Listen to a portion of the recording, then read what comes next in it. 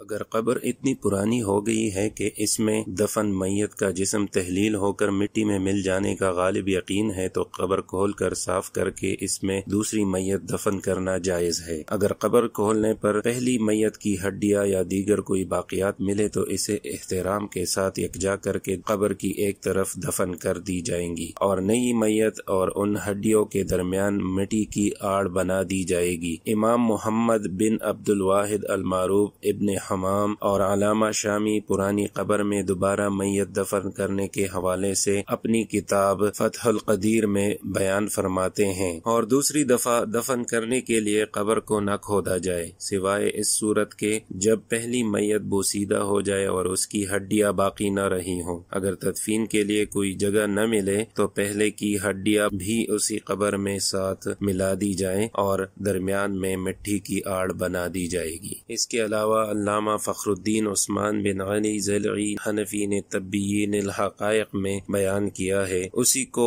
इब्न नजीम, अल्लामा शामी और साहिबान फतावा हिंदिया ने भी नकल किया है। अगर मैयत बोसीदा होकर मिट्टी में मिल जाए तो उस जगह दूसरी मैयत दफन करना, वहाँ खेती काश्त करना और इस पर तामीरात करना जायज़ है। दर्जाबाला इकतसाबात से वाज होता है कि फ़ुकहा ने पुरानी और बोसीदा कब्र को खोलने और इसमें दूसरी मैयत की तदफीन करने की मशरूत इजाज़त दी है। अगर किसी कब्र में दफन मैयत का जिसम गल जाने और हड्डियाँ बोसीदा होकर मिट्टी होने का यकीन हो तो उस कब्र में बवक्त ज़रूरत दूसरी मैयत को दफनाना जायज़ है। और अगर तवील अरसा गुजरने के बावजूद भी कब्र खोलने पर पहली मैयत का जिसम मुकम्मल और ताज़ा रहे तो फ़ौरन कब्र बंद कर दी जाए और उसमें तदफीन न की जाए। जाए। सुबहान अल्लाह।